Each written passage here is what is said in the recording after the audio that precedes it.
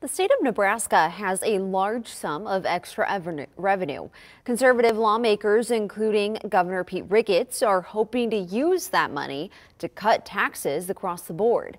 Today, Ricketts and other Republican members spoke on why they're focusing on tax cuts this season. And as 3 News Now reporter John Kipper tells us, they say it's Nebraskans' money.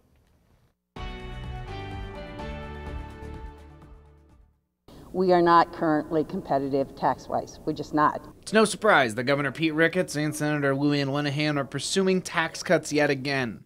The two have been pushing for them since they got to Lincoln. In Lincoln on Thursday, Ricketts praised the taxes the legislature already cut, which he says equals $2 billion over a two year period. But with state revenues booming around $400 million, they want to do more. We need to give the money back to the people of Nebraska. This is not our money. This is not my money. It's not the legislators' money.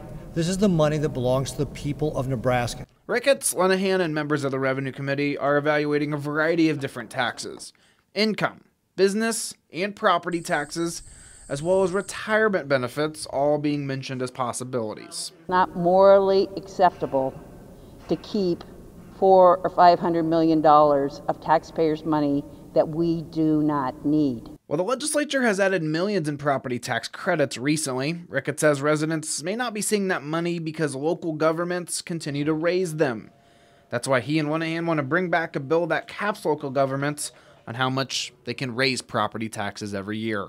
Depending on where you live, you might not see that much relief because of spending going up. So we've got to have some kind of agreement across the state that limits increases. That bill fell four votes short last year, and it's unclear if any minds will change as the new year and new session begins. Now, last year, the legislature passed a bill that began to phase out those receiving Social Security benefits over a 10 year period.